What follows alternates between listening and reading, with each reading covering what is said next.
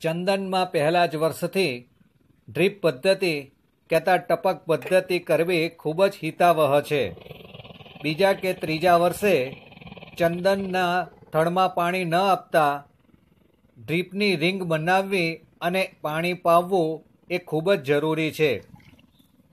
જો આમ કરવામાં ન આવે, તો થડમાં જ ફક્ત પાણી આપીશું, તો ચારે બાજુ ફેલાયેલા મૂળને પાણી મળશે નહીં.